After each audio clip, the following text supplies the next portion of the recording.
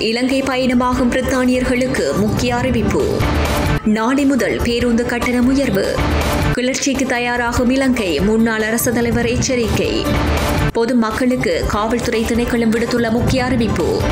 அரசாங்கத்தை துரத்தி அடிக்க நாம் தயார் அனுர பகிரங்கம்.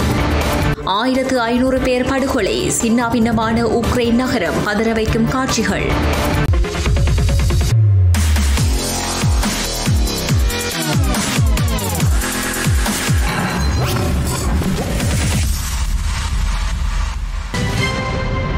இலங்கையில் மோசமடைந்து வரும் பொருளாதார நிலைமை குறித்து பிரித்தானியா தமது நாட்டு பிரஜைகளுக்கு எச்சரிக்கை செய்யும் வகையில் பயண ஆலோசனையில் திருத்தம் செய்யப்பட்டுள்ளது. மருந்துகள் எரிபொருள் மற்றும் உணவு உள்ளிட்ட அடிப்படை தேவைகளின் பற்றாக்குறையுடன் அந்த நாட்டின் பொருளாதார நிலைமை மோசமடைந்து வருவதாக பிரித்தானியா எச்சரித்துள்ளது. இறக்குமதி செய்வதற்கான கொடுப்படவு செலுத்த முடியாத நிலைமையை இலங்கை எதிர்நோக்கியுள்ளதாக பிரித்தானியா தமது நாட்டு பிரஜைகளுக்கான பயண ஆலோசனையில் கூறியுள்ளது. பலசரக்கு கடைகள் எரிவாயு நிலையங்கள் மற்றும் மருந்தகங்களில் நீண்ட வரிசைகள் இருக்கலாம் எனவும் பிரித்தானியா குறிப்பிட்டுள்ளது. அத்துடன் மின்சார உற்பத்திக்கான நெருக்கடி காரணமாக சுழற்சி முறையில் அதிகாரிகள் மின்வெட்டை நடைமுறைப்படுத்தலாம் எனவும் பிரித்தானியா தனது பிரஜைகளுக்கான பயண ஆலோசனையில் மேலும் சுட்டிக்காட்டியுள்ளது. நாளை நள்ளிரவு முதல் பேருந்து கட்டணத்தை அதிகரிப்பதற்கு தீர்மானிக்கப்பட்டுள்ளதாக தேசிய போக்குவரத்து ஆணையகம் தெரிவித்துள்ளது. எரிபொருள் வெளியேற்றத்தினால் பேருந்து தொழிற்சங்கம் கடுமையாக பாதிக்கப்பட்டுள்ள நிலையில் எரிபொருள் மானியம் அல்லது பேருந்து கட்டண அதிகரிப்பை பேருந்து தொழிற்சங்கங்கள் முன்மொழிந்தமை குறிப்பிடத்தக்கது. மேலும் கட்டண திருத்தங்கள் அமைச்சரவையில் நாளை சமர்ப்பிக்கப்பட்டு அனுமதி பெறப்படும் என்று தெரிவிக்கப்பட்டுள்ளது.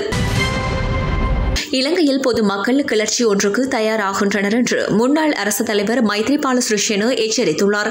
பதுலையில் இடம்பெற்ற நிகழ்வு ஒன்றின் போது உரையாற்றிய போதே அவர் இவ்வாறு தெரிவித்துள்ளார். நாட்டில் ஏற்பட்டுள்ள பொருளாதார சுமையை தாங்க முடியாத நிலையில் பொதுமக்கள் கிளர்ச்சிக்கு தயாராகுவதாக தெரிவித்தார். ஒரே இரவில் மேற்கொள்ளப்பட்ட பொருட்களின் விலை உயர்வு காரணமாக நாடு மேலும் மேலும் துயரங்களுக்கு முகம் கொடுக்க வேண்டி ஏற்பட்டுள்ளன எனவும் கூறியுள்ளார். இதேவேளை நாட்டின் பொருளாதார சுமையை ஆட்சேபித்து அரசாங்கத்திற்கு எதிராக எதிர்வரும் பதினைந்தாம் தேதி போராட்டம் ஒன்றில் இணையுமாறு எதிர்க்கட்சியான ஐக்கிய மக்கள் சக்தியும் கோரிக்கை விடுத்துள்ளது.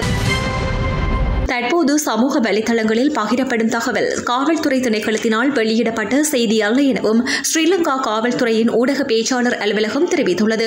அனைவரும் படிக்க வேண்டிய காவல்துறை செய்தி பொருளாதார நெருக்கடியில் ஜாக்கிரதை என இருபத்தி ரெண்டு விடயங்கள் உள்ளடக்கப்பட்டு இறுதியில் அவதானமாக இருங்கள் காவல்துறை திணைக்களம் என இந்த போலி தகவல் தயாரிக்கப்பட்டுள்ளதாக ஸ்ரீலங்கா காவல்துறையின் ஊடக பேச்சாளர் அலுவலகம் தெரிவித்துள்ளது.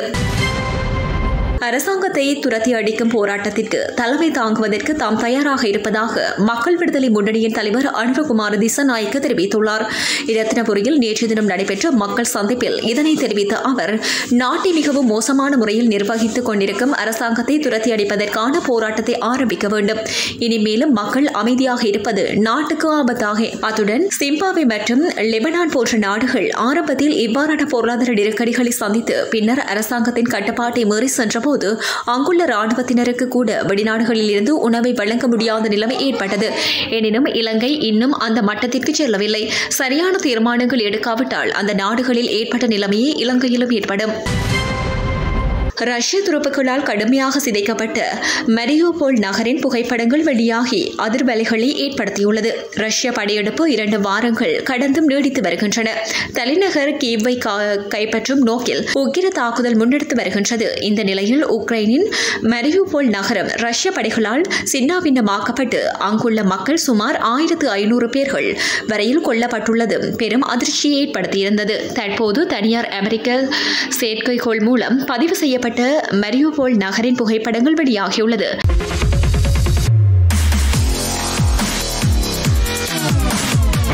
இலங்கை பயணமாகும் பிரித்தானியர்களுக்கு முக்கிய அறிவிப்பு.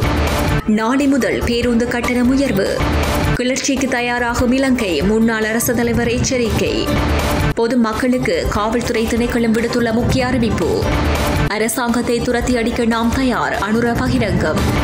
ஆயிரத்து ஐநூறு பேர் படுகொலை. சின்னாபின்னமான உக்ரைன் நகரம் அதிர வைக்கும் காட்சிகள்.